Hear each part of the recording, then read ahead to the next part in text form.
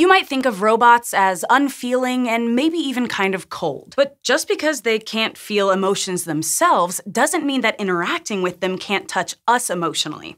As you might know if you've ever tried to keep a Tamagotchi alive or put googly eyes on a Roomba. And in recent years, scientists have actually been making robots that aren't just for carrying out mechanical tasks, but are actually meant to help us with the ins and outs of social interaction. Now, the list of robots you'd want to hang out with might be pretty short, but in some cases, robots can make decent pals. For instance, in a 2007 study, researchers from Japan designed a robot to study social interactions in autistic children. The robot, Keepon, is small, adorable, and only capable of expressing a few things.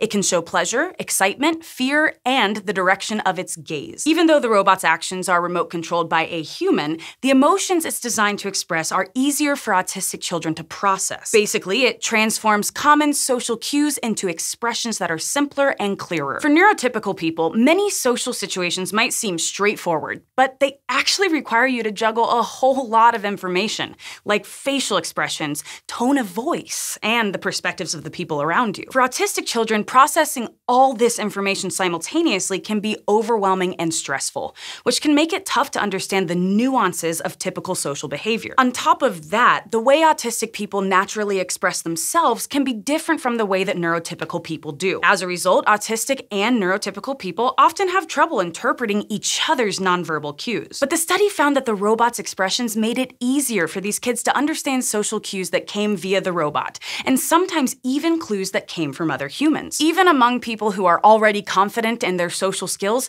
robots can help strengthen social interactions. For example, by creating an environment where it's okay to be vulnerable. In a 2020 study from Yale University, researchers divided 153 people into 51 groups consisting of three humans and one robot. Their task was to design efficient rail routes using a tablet app over the course of 30 rounds. It was designed to be tense and competitive. While the humans were free to talk as much as they wanted, the robot did one of three things. It either remained silent, said something neutral about the task at hand, or somehow express vulnerability, either through a joke or a personal story or by admitting to a mistake in the last round. On teams where the robots expressed vulnerability, the other group members ended up speaking twice as much, and they even reported that they enjoyed the game more than other teams. The researchers believe that, even though it was totally synthetic, the robot's vulnerability changed the dynamic of the group. It's a lot like how a person might break the ice by cracking a joke. The robot's little quips changed how players felt about the whole situation, and their behavior shifted in response. The whole concept poses some interesting possibilities. Like if robots are able to change the way humans respond to each other socially,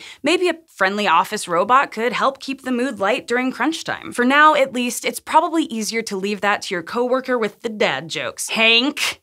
But the experiment does give us new ideas about what roles robots could play in our lives in the future. Finally, future robots might not just help us get along with friends and coworkers, they may also help liven up some of the lonely times that come with old age. That's why a number of research teams have been working on developing robotic pets like this one named Jennie. Take a look at this pupper and tell me you don't feel at least a little warm and fuzzy. Go ahead, try, tell me. Robots like Jennie, which are a type of social robot, are generally used to care for people who struggle with loneliness or anxiety and can't reliably care for a pet, such as people in nursing homes or those with dementia. Robots like this can offer companionship, kind of like a pet without all the responsibility. And there's also evidence that they can brighten up the social lives of people in residential and dementia care. A study from 2006 found that having a social robot active for nine hours a day in a nursing home was great for residents. It strengthened their new and old relationships simply because, no matter what people's cognitive abilities were, they could interact with the robot.